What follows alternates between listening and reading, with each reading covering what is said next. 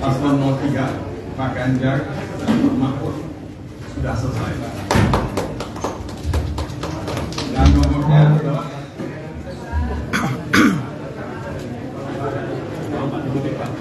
Sebutin Pak, sebutin.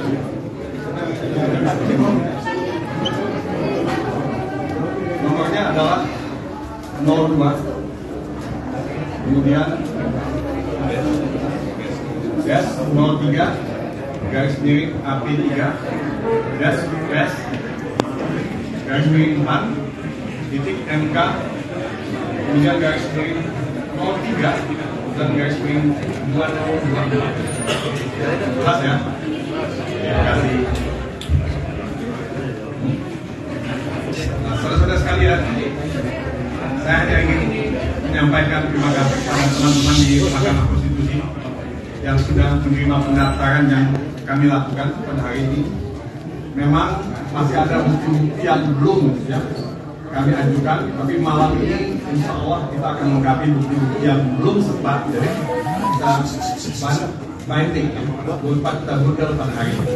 Jadi insya Allah malam ini itu akan dilengkapi dan kita akan siap untuk bersidang pada jadwal yang ditentukan oleh MK. Nah, saudara-saudara, permohonan kami cukup tebal, itu 151 halaman. Ya, itu belum disertai dengan belum termasuk bukti-bukti ya, dan lampiran yang lain. Tentu ada positas seperti biasa, ada petitum. Nah, saya ingin menjelaskan beberapa hal secara sangat umum karena secara detail nanti akan kita sampaikan pada persidangan di MK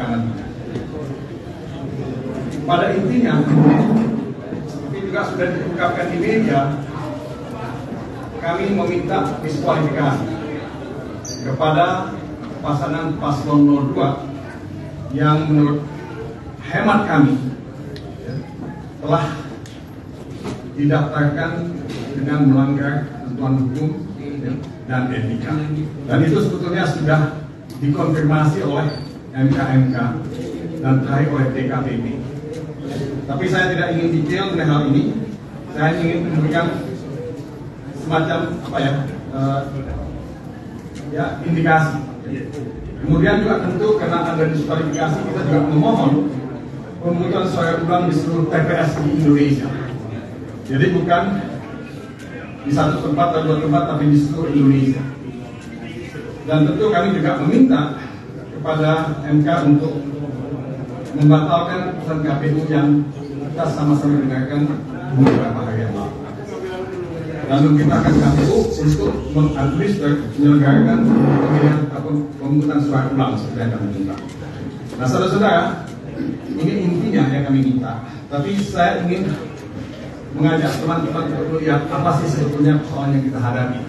Ya, memang menurut saya kita dalam satu momen ya, yang sangat menentukan dalam kehidupan kita berbangsa dan bersejarah bernegara ini. Kita ini mau mau membawa bangsa ini ke mana? Kita ini mau membawa negara ini ke mana? Demokrasi itu penting, supremasi hukum itu penting, konstitusi itu penting, dan kita tidak ingin itu diinjak-injak. Kita tidak ingin itu dilanggar.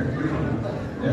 Nah, kita melihat asal asal ini semua adalah nepotisme. Sekali lagi saya ucapkan nepotisme yang membuahkan abuse of power, penyalahgunaan kekuasaan yang berkoordinasi. Ya.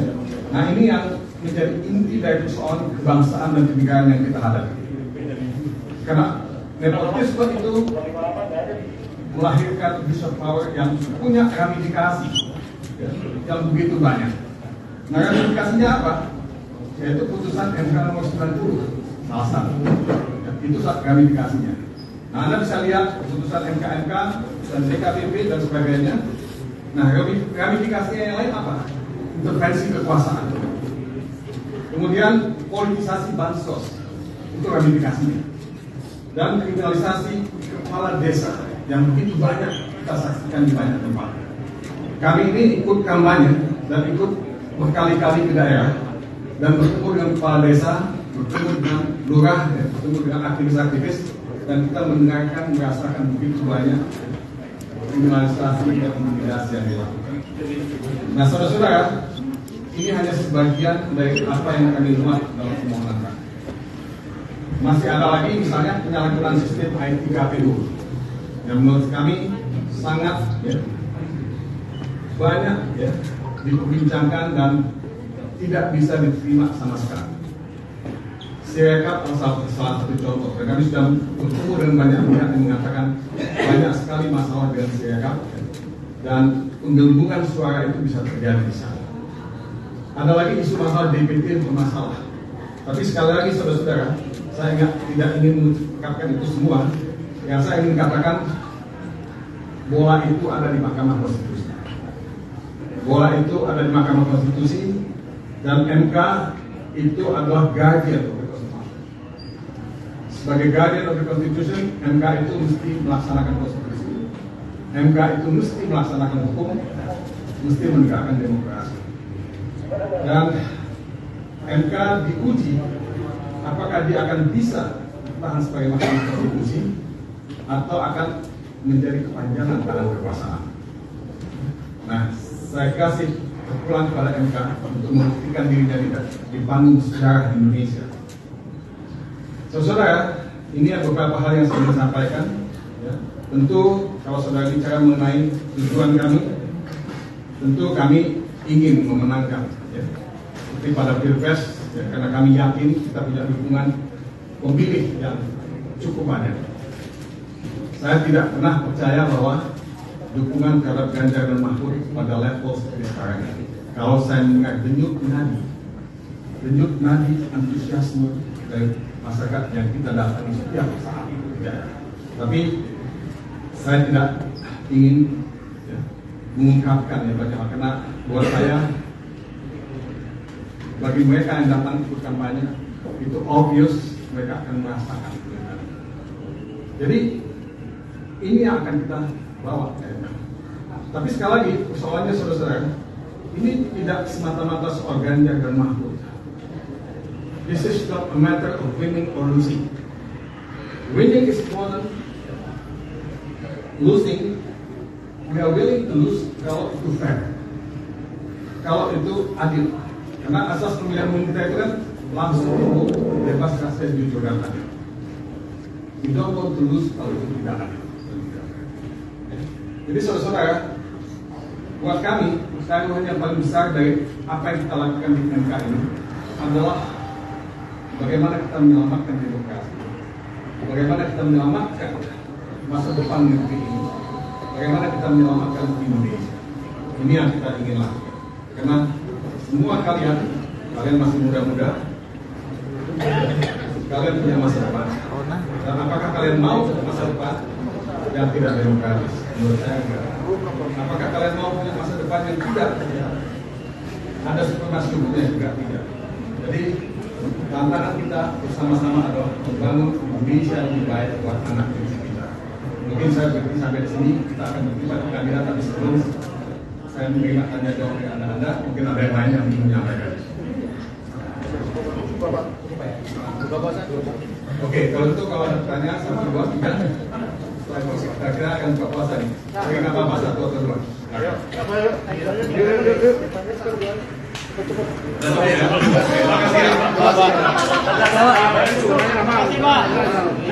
Dalam uh, tadi pendaftaran ke MK ada kendala nggak Pak? Soal misalnya MK kan uh, nanti akan ada jeda gitu Pak. Uh, misalnya libur Lebaran kalau nggak salah.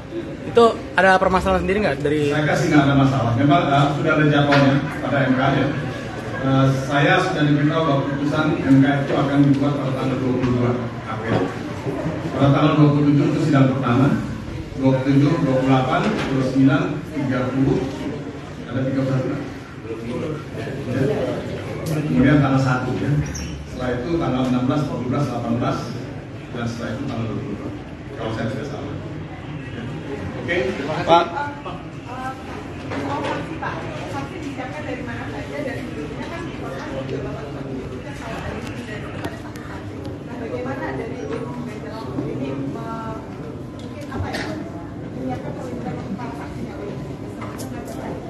Saksi itu kita dapat dari banyak dari bahkan dari jumlahnya itu mungkin sekitar 30 dan ahli kita ada sekitar 10.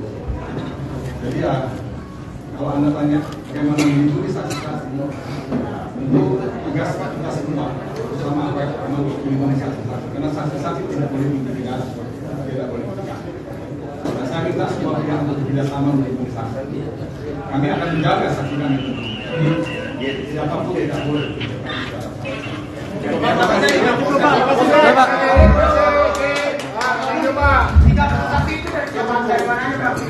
Download Tribun X sekarang. Menghadirkan lokal menjadi Indonesia.